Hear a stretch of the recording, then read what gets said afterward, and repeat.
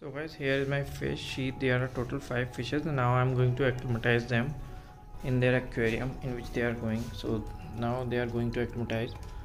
The blue light is on. Let me see did they? Yes this shine. Yes this glow in blue light. See the two of them are glowing. The two red ones. Wow that's amazing. So guys it's about 20 minutes now since they are acclimatizing. So now it's time to transfer them to that new home. So let these let them just take out take them out and just transfer it. I'm not going to uh, you know like use this water to transfer.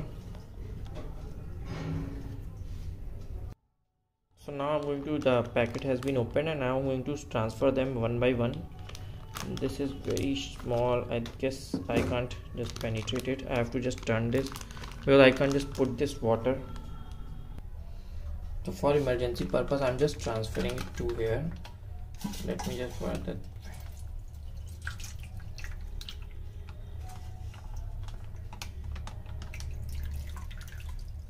So they are in the net right now. Let me just take it uh, like this. I will directly take it uh, in this way. They just don't have to. They will just travel with me to the aquarium now they are ready to go inside this. So now let's see.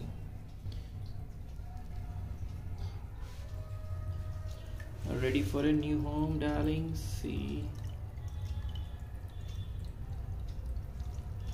They all have been transferred to their new home. So let us just keep it aside. And now let me just check them. They all just went to hide see right now the lightning mode is is the uh, uh, blue and white combination. Let me just change the combination first is the white one and see where are they? They are just hiding everywhere just see. They're enjoying in the plant. They all are live plant. Let me just now turn on the blue mode. See the blue two red ones are just you can see. The red one one is there and one is over there. See one is here hiding here and one red one is over there behind the bushes. See you can see from hey the purple one are growing but they are not growing a lot.